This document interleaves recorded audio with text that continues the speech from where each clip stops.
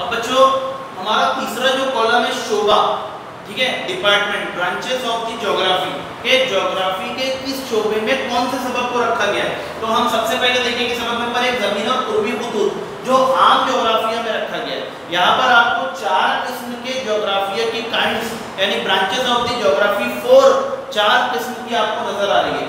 एक है आम ज्योग्राफिया जो सबक नंबर एक है।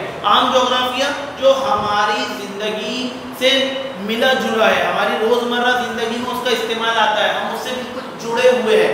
ऐसे टॉपिक्स को उन्हें आम ज्योग्राफिया में सिलेबस में रखा गया है। उसके बाद सवाल नंबर दो, आइए बलती इस्तेमाल करें। इसे भी आम जोग्राफिया में रखा गया है। इस आम जोग्राफिया को अंग्रेज़ी जबान में जर्नल जोग्राफी कहते हैं। ठीक है? जो हमारी ज़िंदगी से जुड़े हुए हैं, मुंसलिक हैं, इन्हें इस टॉपिक को, इन लेसन को हमें आम ज्योग्राफिया में रखा गया है। लेसन नंबर थ्री है ग्लोब नक्शे का मुआवजा और इलाकाई सैर जो अमली ज्योग्राफिया में रखा गया देखिए, ये दूसरा पॉइंट आया। दूसरी किस्म आई ज्योग्राफिया की अमली ज्योग्राफिया जिसे अंग्रेज़ी में प्रैक्टिकल ज्योग्राफी कहते हैं। ठीक है? अब अमली ज्योग्राफिया एक मिसाल के तौर पे कि मैं के खेती बाड़ी की एग्रीकल्चर लैंड के बारे में आपको जो है पढ़कर या ब्लैक बोर्ड पर लिखकर मालूम दे दूँ। ठीक है, समझाकर मालूम दे दूँ कि किसान जो है, एक फार्मर जो है, वो खेती किस तरह करता है, किस तरह वो साल भर उसका मामला खेती पर चलता है क्या क्या कौन से महीने में कब क्या करता है, ये एक मुताला मैं आपको दे दूँ ओरली दे दूँ, जबानी दे दूँ, या फिर आपको बोर्ड पर लिख कर दे दूँ, या आप खेती के बारे में मालूम किसी किताब में पढ़ लें।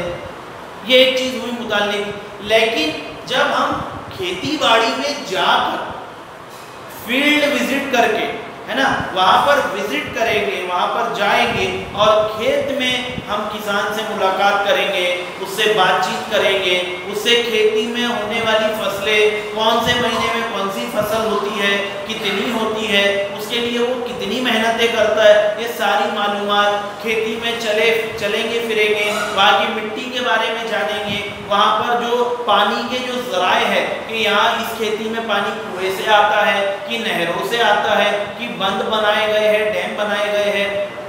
खेती में जो है, पानी के जराए को लेकर गवर्नमेंट की क्या जो है तो मदद है? ये सारी चीज़ें हम खेती में जाकर किसी किसान से मालूम हासिल करेंगे। This is called field visit इसे कहते हैं फ़ील्ड विज़िट प्रैक्टिकल नॉलेज हम जो है प्रैक्टिकल नॉलेज हासिल कर रहे हैं, पढ़कर नहीं कर रहे।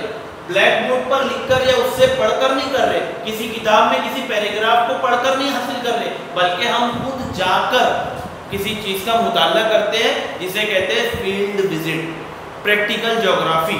हम हम जो है प्रैक्टिकल करते हैं उससे क्या करते हैं, उसे कहते हैं अमली ज्योग्राफी। अब यहाँ पर आप देखेंगे लेसन नंबर थ्री है ग्लोब ये ग्लोब आपके सामने रखा हुआ है।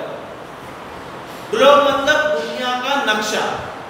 ठीक जिस तरह दुनिया अल्लाह ताला ने बनाई है, साइंसदानों ने ये ग्लोब इजाद किया है, बनाया है। ठीक इसी तरीके से हमारी जो ज़मीन है अर्थ है, ये इस तरह बनी हुई है। तो ये ग्लोब अब ग्लोब का मुताला करना बी प्रैक्टिकल उसके बाद नक्शे का मुआवजा। नक्शे के बारे में जोग्राफर्स कहते हैं कि नक्शे का जब वो कोई बच्चा या कोई टीचर मुताला करता है, उस पर गौर फ़िक्र करता है तो नक्शा जो है, मानो उससे बातें करने लगता है। जब हम ज्योग्राफी में किसी नक्शे को देखेंगे। सपोज़ भारत मुल्क का नक्शा देखेंगे। उसमें अंदर बाउंड्रीज को देखेंगे, उसके अंदर सरहदों को देखेंगे, इस अलग अलग रियासतों को देखेंगे, रियासतों में अजला को, ज़िलों को देखेंगे, हम उसका मुताला करते जाएँगे। मानो नक्शा हमसे बातें कर रहा हो। हम नक्शे से बात कर रहे हो, नक्शा हमसे बात कर रहा हो। जब हम उसका मुताला करते जाएँगे तो हम उसके अंदर डीप के अंदर डीपली नॉलेज अंदर में हम जाते जाएँगे। तो नक्शे का मुआवजा और इलाकाई सैर। इलाकाई सैर मतलब सैर, तफरी, पिकनिक नहीं not a picnic not a tourist बल्कि इलाकाई सैर। किसी इलाके में जाकर वहाँ की मालूम हासिल करना। किसी खेत पर जाके, किसी कारखाने या फैक्ट्री में जाकर मालूम हासिल करना। दिस इज़ कॉल्ड इलाकाई सैर। फ़ील्ड विज़िट ठीक है? तो इसे हमने में रखा गया अब तबाई ज्योग्राफी तबाई जिसे अंग्रेज़ी में कहते हैं फ़िज़िकल ज्योग्राफी अब, इस दुनिया में जब हम अपनी आँखों से देखते हैं नज़ारे तो हमें ये समझ आता है कि कुछ चीज़ें इंसान ने बनाई है और कुछ चीज़ें अल्लाह तबारक ताला ने अपनी कुदरत से पैदा की। उसको पैदा करना या बनाने की ताकत हम इंसानों में बिल्कुल भी नहीं मिसाल के तौर पर बर्फीले बड़े बड़े पहाड़, पहाड़ी इलाके समुंदरी साहिली किनारा बड़े बड़े समुद्र जिसे हम जोग्राफियाई जबान में बहरे आज़म कहते हैं, है ना? बहुत सारी चीज़ें, रेगिस्तान है बड़े बड़े ये अल्लाह ताला ने अपनी कुदरत से पैदा की है बड़ी बड़ी बहती हुई नदियाँ, इन नदियों को हम बहा सकते हैं? बिल्कुल नहीं। इसे अल्लाह ताला अपनी कुदरत से चला रहे तो ये सारी चीज़ें जो अल्लाह ताला ने अपनी कुदरत के ज़रिए पैदा की है, उसे तबई जोग्राफिया में रखा गया तबाई जोग्राफिया ठीक है? फ़िज़िकल जोग्राफी अब इसमें देखेंगे आप दर्जे हरारत तो तबई जोग्राफिया में रखा गया टेम्परेचर जिसे हम अंग्रेज़ी में कहते हैं। क्या इस टेम्परेचर को चलाना, इसको बदलने का इख्तियार या इसको बदलने की तरकीब हम इंसानों के हाथ में? बिल्कुल नहीं। बारिश का बरसाना इंसानों के इख्तियार में नहीं है। गर्मी का बढ़ जाना टेम्परेचर का बढ़ जाना हमारे इख्तियार में नहीं है, हमारी मर्ज़ी पर नहीं है। टेम्परेचर का कम हो जाना हमारी मर्ज़ी, हमारे इख्तियार में नहीं है। ये अल्लाह ताला चला रहा है। तो ये दर्ज हरारत टेम्परेचर तबई होगा बहरे आजमों की अहमियत। बहरे आज़म कितने? पाँच। कितने बहरे आज़म है? पाँच। बहरे आज़म समुद्री साहिली समुद्र का इलाका, पानी का इलाका कि हमारे अल्लाह ताला ने जो है ज़मीन पर 29 परसेंट ज़मीन बनाई है और इकहत्तर परसेंट सेवेंटी परसेंट पानी बनाया है। पानी जो बड़े बड़े समुद्रों की शक्ल में बहरे आजमों की शक्ल में तो ये समुद्र को बनाने वाले हम हैं? बिल्कुल नहीं। किसी इंसान ने बनाया, किसी साइंसदान ने बनाया? बिल्कुल नहीं। अल्लाह ताला ने अपनी कुदरत से इतने बड़े बड़े समुद्र और बहरे आज़म पैदा किए। तो ये बहरे आजमों की अहमियत को भी तबई जोग्राफिया में रखा गया है। चट्टाने चट्टानों की किस्में। क्या इतने बड़े बड़े पहाड़, इतनी बड़ी बड़ी चट्टाने, क्या हमारी ताकत है हम बनाए?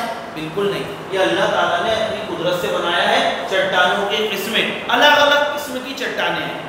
जो पत्थर कहते हैं हम जिसे आम जबान में रॉक्स कहते हैं अंग्रेज़ी में, उसकी अलग अलग किस्में हैं। तो उसे भी जोग्राफिया के तबाई हिस्से में रखा गया है ब्रांच में रखा गया है।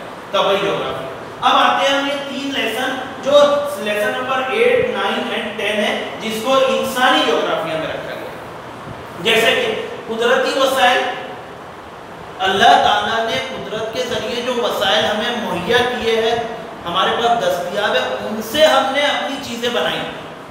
उसका सहारा लेकर हमने अपनी इस्तेमाल की चीज़ें बनाई तो इंसानी जोग्राफिया में रखा गया। समझ में आएगा उसके बाद तोानाई के वसाइल अब तोानाई के वसाइल ये फ़ैन ऊपर क्लासरूम में चल रहा है। आपका मोबाइल फ़ोन है जिससे वीडियो शूटिंग होकर आपकी क्लास चल रही है। ये इंसान ने बनाया। एसी कूलर ये इंसान ने बनाया। तोानाई के वसाइल ये ट्यूबलाइट चल रहे हैं। हमारे घर में जितनी इलेक्ट्रॉनिक्स की सारी चीज़ें चल रही है, ये हम इंसान ने बनाए। कुदरती चीज़ों का, कुदरती वसाइल का सहारा लेकर सपोर्ट लेकर हमने इंसानी वसाइल यानी इंसान के इस्तेमाल की चीज़ें हमने बनाए, हम इंसानों ने बनाए तो उसे इंसानी जोग्राफिया में रखा गया है। सबसे आखिरी सबक है, सबक नंबर दस, इंसानी पेशे के कारोबार बिज़नेस तिजारत। या तो हम जो है, हमारे वालिद हो, हमारे वालदा हो, हमारे वालिदैन, दो तरह, दो जगह से पैसा कमाते हैं। एक, कोई ना कोई कारोबार करके बिज़नेस करके, दूसरा जॉब करके नौकरी करके तो अब यहाँ पर इंसानी पेशे, के पेशे कितने किस्म के हैं? इब्तदाई पेशे कौन से हैं?